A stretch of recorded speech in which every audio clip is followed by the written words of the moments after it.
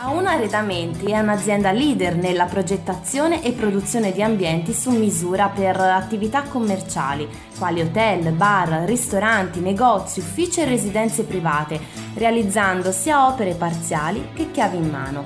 Grazie all'esperienza maturata al fianco di grandi committenti internazionali, si propone come partner ideale per imprese e professionisti che operano nel settore del contract qualità progettuale, realismo operativo ed efficienza realizzativa.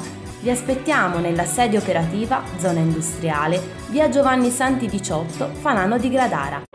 Al Magi, debutto stagionale per i Gabice Gradara che considerate le ultime tre stagioni alla prima ha ottenuto, compreso con l'Odieno, una vittoria e due pareggi. L'avversario si chiama Villa San Martino che tra le proprie file vanta due giocatori d'esperienza come Paoli e Tonucci. I Gabice Gradara in versione New Generation in panchina si affida all'ex Torconca Filippo Vergoni, in campo ad alcuni giocatori protagonisti negli ultimi anni nel campionato di promozione Romagna. I rossoblu sono orfani di Varrella, Cherubini e Montebelli. Abita la gara Simone Malascorta della sezione di Iesi, coadiuvato da Matteo Malascorta alla testa e Florin Murarasu della sezione di Ancona. Si inizia con un piccolo ritardo dovuto a un buco nella rete, ma per chi non avesse mai avuto modo di vedere il campionato di promozione Romagna, Matteo Renzetti si presenta così al pubblico amico, con eh, Balleroni che vede neutralizzare il primo tiro del match. Al ventunesimo gli ospiti vanno vicinissimi al gol, dall'angolo il pallone carambola su Di Carlo che centri il palo e successivamente nessuno degli ospiti riesce il tapin vincente. Attenzione, i Gabici Gradara sa soffrire ma anche pungere, manca poco quando Pierri elabora questo gioco di gambe con il pallone tra i piedi per scaricare sulla corrente mani.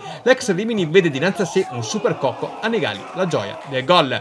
Dall'altra parte timidi tentativi del Villa San Martino, Paoli cerca il tiro cross che per poco non sorprende Renzetti. Da punizione lo stesso numero 4 appoggia per Tartaglia che alza la mira. L'ultima azione primi 45 minuti porta proprio la firma da calcio piazzato di Tartaglia ma il numero 3 dimostra poca confidenza con i gol.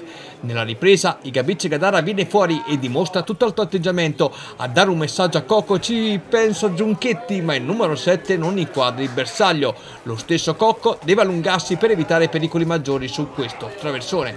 Igabice Gadara preme e Giunchetti arriva nuovamente alla conclusione con Cocco costretto a raccogliere questa volta il cuoio.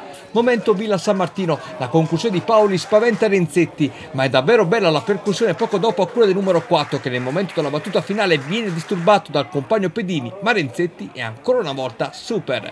Vantaggio rimandato di un giro di lancette dall'angolo, infatti il pallone attraversa l'area di rigore il secondo palo, Tonucci dimenticato in spaccata realizza lo 0-1, togliendosi un sassolino dalla scarpa rispondendo alle critiche ricevute a fine primo tempo. Dopo il gol, i Gabici Gadara lascia ancora qualche spazio, Pedini non ne approfitta, i rossoblù oggi maglia bianca ringraziano e con Pieri confezionano il gol del pareggio, il numero 9 gioca con il pallone tra i piedi realizzando un tocco soft finale che chiede al neoentrato Donati alla sua seconda apparizione in maglia Gabice di alzarsi e spedire di testa in fondo a sacco il pallone dell'1-1 con l'attaccante che batte forte il petto e il logo del club. Più di tutti ha voluto fortemente e nuovamente questi colori dopo che le parti si erano lasciate con un ottimo ricordo. Finale di Marca Gabici Gradara. Qui Giunchetti vorrebbe rigore dopo l'intervento di Paoli. L'arbitro non è dello stesso parere. 30 secondi dopo fischia una punizione che lo stesso Giunchetti provvede a calciare alto. Sul finire di tempo purtroppo la nota stonata della giornata l'infortunio a Casoli che si infortuna senza che tra l'altro l'arbitro se ne accorgesse. Poi il forte dolore distorsione al ginocchio per lui, si fa sentire e verrà portato fuori dai soccorritori. Piuttosto, auguri di pronta guarigione. La gara termina qui, un punto che serve a mantenere buona la tradizione per i Gabice Gradara che vede il rossoblù sorridere sempre alla prima giornata, anche se questa volta si tratta di un sorriso a metà. Vergoni ha potuto raccogliere le prime indicazioni per la formazione di una squadra praticamente tutta nuova. Il Villa San Martino si è dimostrato avversario ostico buono alla prima, anche per loro.